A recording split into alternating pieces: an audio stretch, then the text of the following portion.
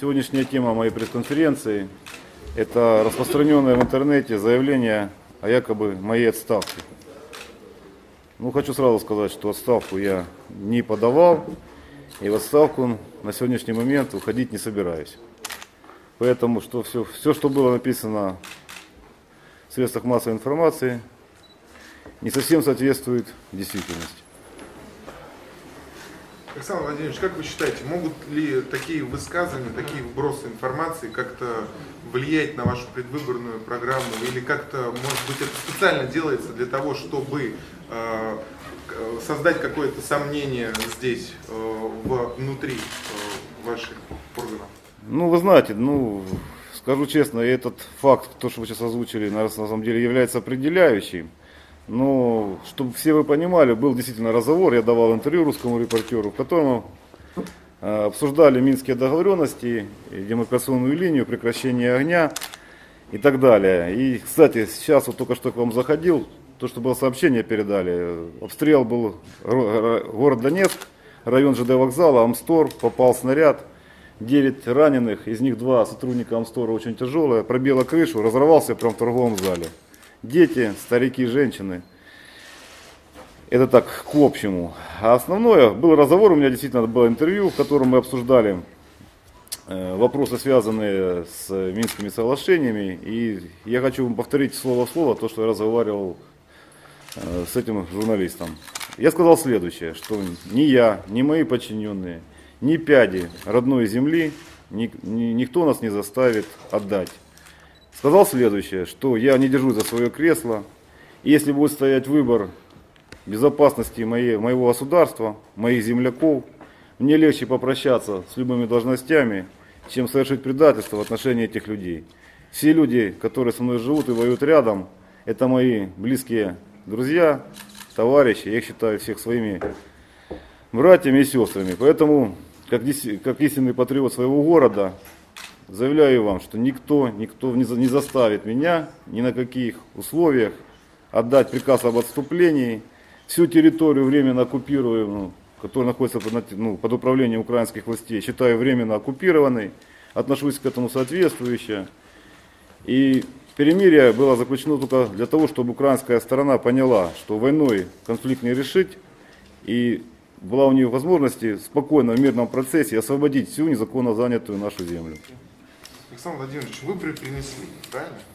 А, причина переноса выборов. И расскажите, пожалуйста, немножко по энергетике, по запасам угля, а, по теплу в домах. А, скоро, скоро холода. Как у нас ситуация обстоит в Донецке и в, в пригородах города, ну и, соответственно, там в Шахтерске, в Торезе, Зубресе, Снежном. Ну, давайте начнем с этого, с энергетики, с тепла. Две недели назад при правительстве Донецкой Народной Республики был создан штаб подготовки к осенне-зимнему периоду. На сегодняшний момент город Донецк на 80% готов к отопительному сезону. Э, более ситуация сложна там, где были боевые действия, в Шахтерске и ну, в пригородах города Донецка, так как большинство коммуникаций, к сожалению, нарушены. И сейчас идут активные восстановительные работы. Самая сложная ситуация это в районе аэропорта, там, где до сих пор продолжаются бои, и восстановительные работы, к сожалению, в том объеме, в котором бы нам бы хотелось, э, не могут проводиться. Далее, э, плотно, сейчас в плотном режиме работают э, комиссии, которые выявляют потребность населения в угле, вот именно в этих пригородах, и уголь, который потребуется для отопления домов, этим людям будет предоставлен совершенно бесплатно. По поводу энергетики и угля. На сегодняшний момент Донецкая область, даже та территория, которая находится под нашим контролем 100%, э, может не допас... она владеет 60% запаса угля, находящихся на Украине. Мы в этом отношении с уверенностью смотрим в зиму. Старыми детовскими методами, буржуйками можем это все отопить. Уголь в достаточном количестве есть. Что не скажешь об Украине. Там намного все сложнее. Судя по украинским СМИ, если мы в течение буквально еще недели не будем поставлять уголь на украинскую территорию, то на территории Украины начнется авиарное отключение электроэнергии. Это первое. А зиму они встретят еще хуже, чем, чем мы. Ну, такая же ситуация приблизительно складывается к сожалению, в Новозовском районе. Там и за сложности перемещения, и, к сожалению, после перенесенного ураганного урагана, который там произошел, э, туда нужно будет доставлять уголь, так как коммуникации практически нарушены все. И мы не успеем в полном объеме восстановить к зиме. Поэтому туда будут направлены машины с углем, дабы люди могли топить углем свои дома. Это все, что касается вашего вопроса. А перенос выборов? Перенос вызовов связан чисто с техническими моментами, потому что очень много желающих зарегистрироваться на, выбор, на, на пост главы правительства. И по многочисленным просьбам на неделю просто перенесли выборы, дабы все могли поучаствовать в выборах. И тогда, кого выберет на- народ, ну тот и будет достоин Александр Владимирович, как вы считаете, у вас есть э, какой-то сильный конкурент на выборах? ну, все, кто будет баллотироваться, они все сильные конкуренты. Это все харизматичные люди, это все лиди- большие лидерские качества, эти все люди известные в Донецке, Донецкой области, не только тут. Поэтому, ну, они все сильные. Еще э, очень интересует информация по аэропорту. Известно, что там продолжаются бои, э, бои идут уже давно. Э, Какая сейчас там обстановка, что вот можно сказать? Ну, уважаемые господа журналисты, я уже неоднократно заявлял вам и заявляю еще раз. Аэропорт находится на, ну, практически на 100% под нашим контролем. Не находится под нашим контролем населенный пункт город Авдеевка и Пески. Э, С территории этих населенных пунктов обстреливается аэропорт и прилегающие районы города Донецка. Вот, кстати, на сегодняшний момент, которые обстреляли э, ЖД вокзал и район магистральный, попали в Амстор, это наносился удар именно с района Песок.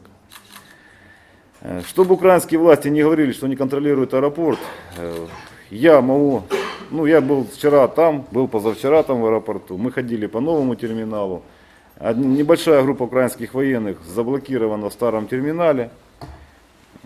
Ну, они абсолютно не мешают э, нам находиться на территории аэропорта, передвигаться по взлетно-посадочной полосе. То есть я не вижу проблемы именно в этом, в, этом, в этом объекте. Больше проблемы создают украинские военные, которые находятся на территории воинской части в Авдеевке и в районе населенного пункта Пески. Все.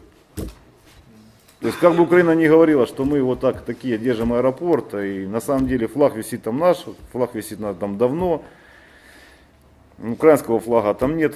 60 человек, находящихся в территории старом те- терминале, это мы с ними по телефону общаемся, предлагаем периодически сдаться. К сожалению, это правый сектор, сдаваться он не хочет.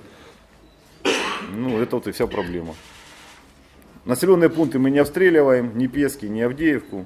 Если мы, мы считаем их своими населенными пунктами, там наши земляки живут, многие бойцы находятся там семьи.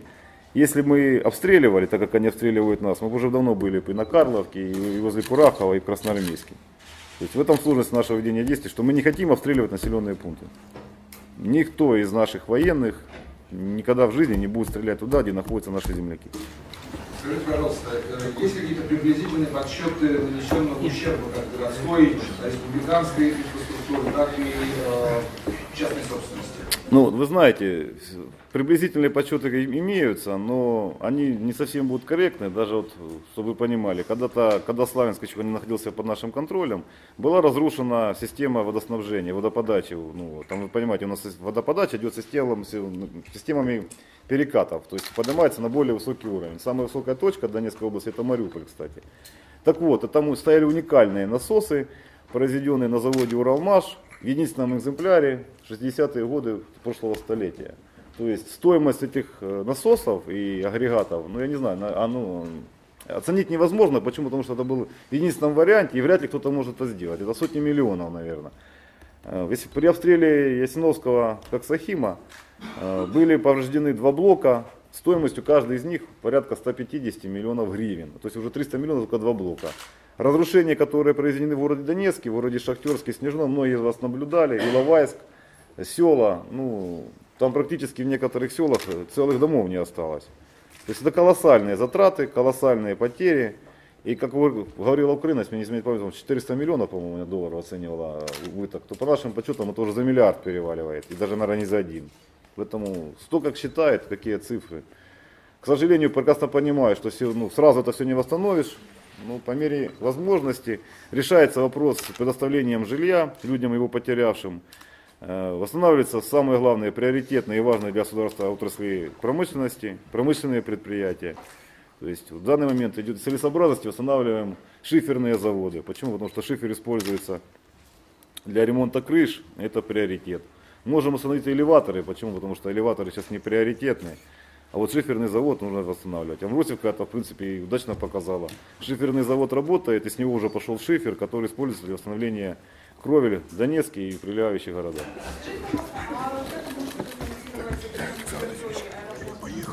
Я еще раз повторяю, никакого обмена территории нет. И не будет. Ни в Минске я не подписал ту линию, которая не читаю. Линии, повторю еще для всех вас, уважаемые журналисты, прошу донести до всего мира. Вторым пунктом Минского протокола был, гласил, что линия разделения в зоне огня, ну, разделительная линия, по состоянию на 19 число. Если кто-либо вам будет говорить, что мы хоть метры земли отдадим, я повторю еще раз. Мне легче, наверное, тогда действительно подать в отставку, чем это подписать. Моей рукой такой приказ не будет подписан никогда. Какие условия временного перемирия? Временного перемирия. Вы знаете, я не знаю, как у нас перемирие происходит и, вообще не происходит. Но вот мне сейчас, как премьеру, да, надо ехать на место обстрела. Вы знаете, я там был недавно, и вот вы не поверите, желание взять автомат и пойти все-таки сходить в аэропорт и своими руками кого-то пристрелить там, возникает все больше и больше. Если мы не открываем огонь, а украинская власть пытается постоянно провоцировать, распространяя даже вот такие вот моменты, как сегодняшним заявлением об отставке, я подозреваю, какие друзья это все сделали, и постоянно обстреливает. Ну о каком перемирии? Какое, вообще, какое перемирие может быть, если нас постоянно стреляют? Вот вы журналисты, недавно поехали, посмотрели, как на 1 октября обстреляли 57-ю школу. Это счастье то, это геройские люди, учители и один из ополченцев, наших бойцов, которые своими телами прикрыли тогда детей. Одного разорвало на куски, другого пробило насквозь. Это два человека, которые спасли детей, спасали. В этот же момент была расстреляна маршрутка, там погибли шесть человек. Я видел э, дедушку, возрастом, наверное, лет, ну я просто со спины его смотрел. Ему кровь текла на хлеб. Он за хлебом вышел. Ну, какие могут быть после этого разговоры о перемирии? Понимаете, те звери, которые находятся, извините за выражение, на той территории, на той, за той линией, за которую вы сейчас спрашиваете у меня, они уже людьми на самом деле называться не могут. Они стреляют в детей, стреляют в мирные дома, они стреляют по торговым центрам, в церкви. Ну, Украина всегда воспринимала Донбасс как регион, который приносит деньги. Потерять деньги, невзирая на сколько ты людей убьешь здесь, это для них основная проблема, это страшная вещь. Ну, люди, не воспринимающие человеческие жизни, а разменивающиеся там за какие-то обещания, за какие-то предвыборные обещания. Понимаете, если вот сейчас победит партия войны в Украине, то наступление украинской армии начнется буквально в первые же дни после выборов. Это мгновенно может начнуться. Вы сами прекрасно понимаете, что третий по списку, по рейтингу идет Олег Ляшко. Вы высказывания этого претендента, ну, партийного лидера, все прекрасно знаете. Вы также знаете, прекрасно видите ролики, чем он отличается и как его называют в Украине. Таких боевых людей, как он, встретишь только, не знаю, в Голландии.